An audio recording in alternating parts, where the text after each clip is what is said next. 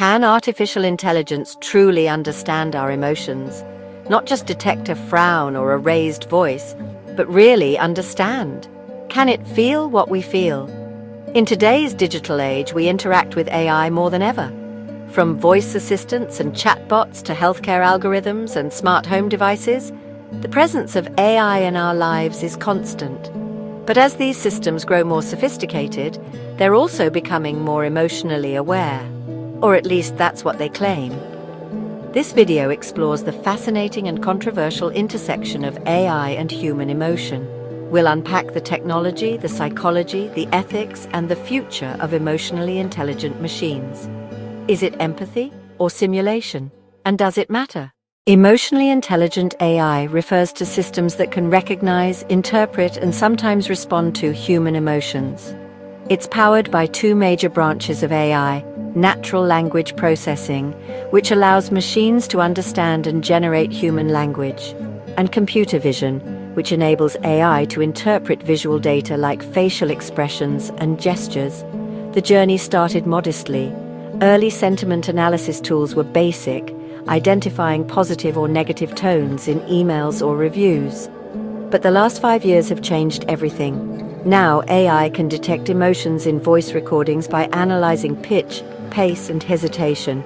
It can scan your face through a webcam and identify micro expressions that signal discomfort, confusion, or joy. It can even pick up emotional context in written messages, such as sarcasm, frustration, or excitement, with increasing accuracy. Practical applications have exploded. Customer service bots now de escalate angry clients using empathetic responses.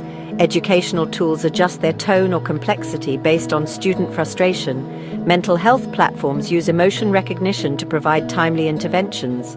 One standout is Ellie, a virtual therapist developed to detect subtle signs of depression in voice and facial expression. Another is Affectiva, a company developing AI that reads facial emotion in real time for market research and automotive safety. But just because an AI seems emotionally intelligent doesn't mean it understands. To grasp what emotionally intelligent AI can and can't do, we need to distinguish between perception and comprehension. AI doesn't feel, it processes, it doesn't get angry, feel grief, or experience joy. It recognizes patterns in data that suggest an emotional state. When you frown, AI measures the angle of your eyebrows, the tension in your jaw. It compares that data to thousands or millions of previous images and infers your emotion. When you type a message, AI dissects your word choices, punctuation, even your spelling mistakes to infer mood. This is detection, not understanding. Emotions in humans are rooted in biology, our hormones, memories, experiences. We don't just show sadness, which we feel it in our body and mind. AI can simulate a response to that sadness, but it doesn't share it. Furthermore, emotion recognition has serious limitations. It struggles with context. A smile can be happiness, sarcasm, or politeness depending on the situation. Cultural nuance. What's considered rude, friendly, or aggressive varies hugely between cultures. Ambiguity.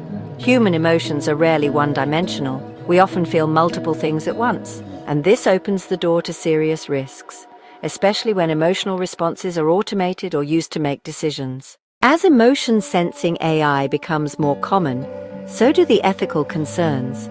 First, bias in emotion recognition. If the datasets used to train AI are predominantly Western or male, the system may misread emotions in women, ethnic minorities, or non native speakers. This has already been seen in facial recognition technologies with higher error rates for black and Asian individuals. Now imagine those biases applied to emotion. A job interview bot misreading nervousness as dishonesty, an education app mistaking cultural expressiveness for defiance, a security system flagging harmless behaviors as threats. Second, manipulation. If a company knows your emotional state, it can tailor its messages to exploit it. Feeling lonely? You're more likely to click a dating app ad anxious, Here's a sale on comfort products. Emotional targeting isn't theoretical, it's already happening. The ethical line between helpful and exploitative is razor thin. Third, emotional surveillance. In workplaces, some companies are testing AI that tracks employee emotions to optimize productivity.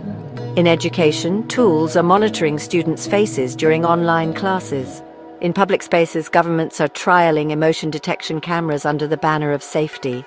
But what happens to that emotional data? Who owns it? Can it be used against you? Despite the risks, emotionally intelligent AI has the power to do good if used responsibly. In mental health, AI is already making a difference. Virtual companions offer safe, stigma-free environments for people to express feelings. Some tools help monitor mood swings, predict depressive episodes, and encourage healthier habits.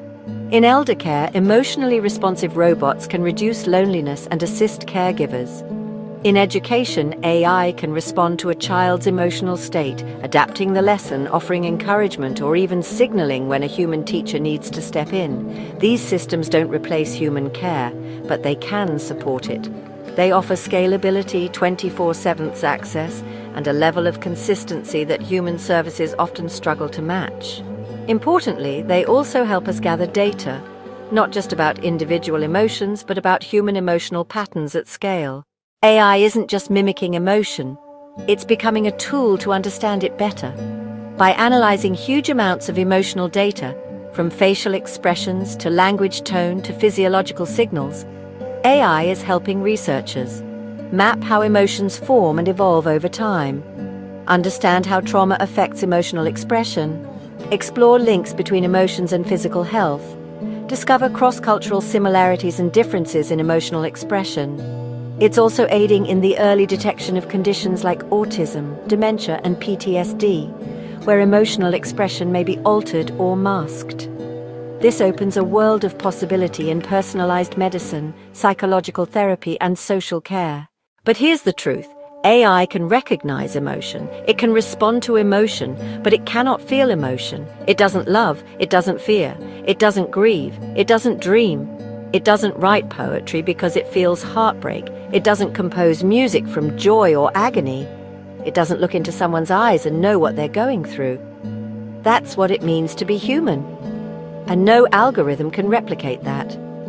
Even the most advanced AI is still an outsider looking in, performing empathy, not experiencing it. And that distinction matters.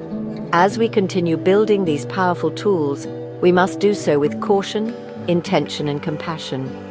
Let AI enhance our lives. Let it support our well-being. Let it help us understand ourselves. But let us never outsource what it means to be human. Can AI understand human emotion? To some extent, yes.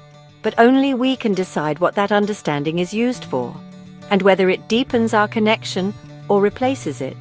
If you found this video thought-provoking, Subscribe for more in-depth explorations of AI and the human condition. Leave your thoughts in the comments. Do you think AI will ever truly understand us?